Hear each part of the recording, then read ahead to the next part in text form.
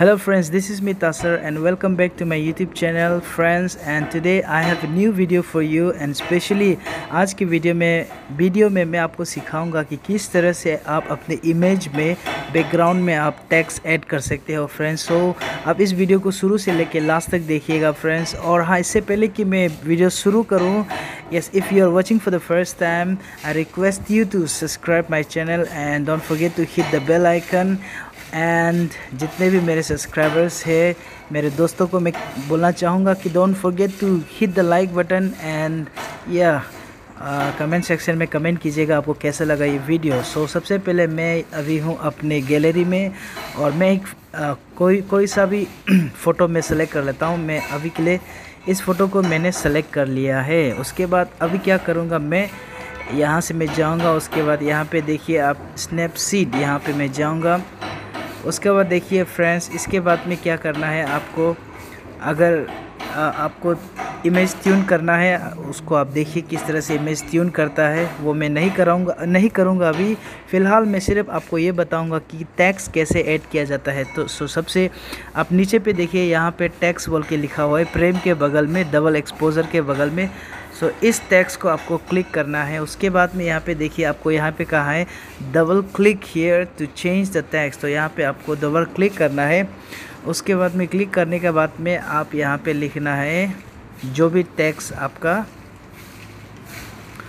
मैं अभी लिखता हूँ इसे देमुख क्योंकि ये जो फ़ोटो लिया है ये देमुख में लिया है। देमुख का आपको पता ही होगा फ़िश फ़िश फिशिंग पॉन्ड में सो so फ्रेंड्स ये पहले मैंने इमेज को ले लिया उसके बाद देखिए मैं यहाँ पे इसे कर रहा हूँ प्लेसिंग मैं चाहता हूँ कि ये डेमो जो है इस जगह में अच्छे से दिखाई दे।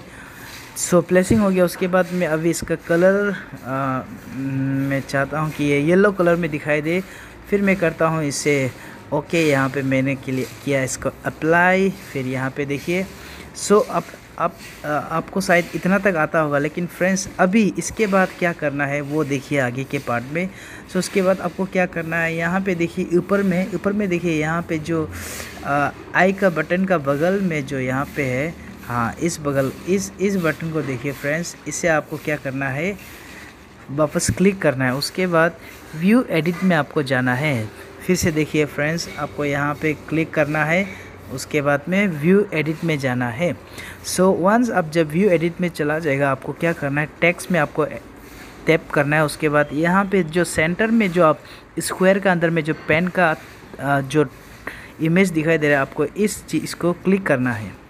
जब आपको ये क्लिक जब आपका ये क्लिक हो चुका है सो यहाँ पे देखिए वो इमेज जो नहीं होगा, क्योंकि वो इमेज जो है पीछे में है उसका सो आपको क्या करना है, उसको आगे लेके आना है। सो फ्रेंड्स आपको देखिए यहाँ पे ये ये ये देखिए, ये है ओपेसिटी ये इंक्रीज़ और ये ओपेसिटी डिक्रीज़ जब आप इसको इंक्रीज़ करेगा तो जो, जिस चीज़ को, जो टैक्स आप, आपने लिया है जब उसके ऊपर आप मार्किंग करोगे तो वो बहुत सुंदर से अपेयर होगा।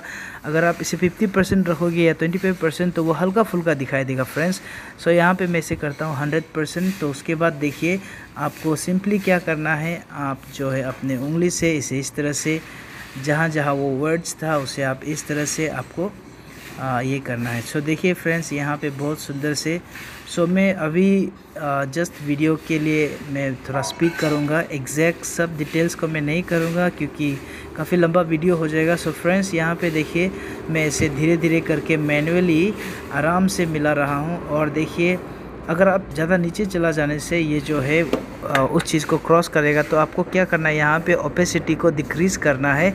उसके बाद फिर आप वापस रेस्टोर कर सकते हो। फिर वापस यहाँ पे देखिए, आप जो है इसको इंक्रीज़ कीजिए। इंक्रीज़ करने के बाद में फिर यहाँ पे देखिए, आप इसे इस तरह से इसका जो अपेसिटी लेवल है, जो इसको आप जो है इस तरह से करना है। तो फ्रेंड्स उसके बाद फाइनल में देखिएगा। उसके बाद देखिए, ये देखिए यहाँ पे इस तरह से आप बारीकी से एक एक चीज़ को कर सकते हो, लेकिन फ़िलहाल ये वीडियो को शॉर्ट करने के लिए मैं यहाँ पे बहुत ही स्पीड से कर रहा हूँ। उसके बाद देखिए फ्रेंड्स, यहाँ पे आपको इस तरह से अच्छे से करना है और बिल्कुल सही से इसी तरह से यही प्रोसेस को आपको अपनाना है।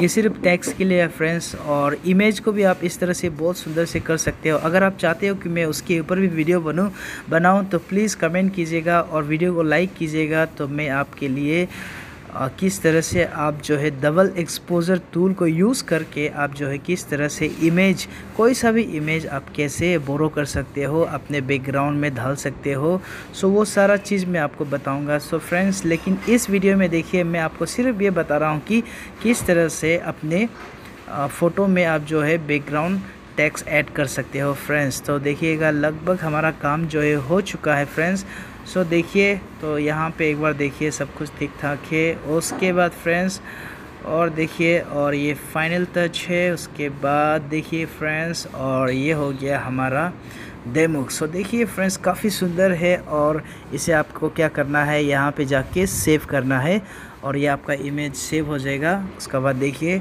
कितना सुंदर है friends so friends I hope you like this video make sure you subscribe and या let me know in the comment section और या I really need your help keep supporting me keep subscribing my channel and like share भी कर दीजिए अपने दोस्तों के साथ. और फ्रेंड्स आज का वीडियो इतना ही था. Thank you so much and take care see you in my next video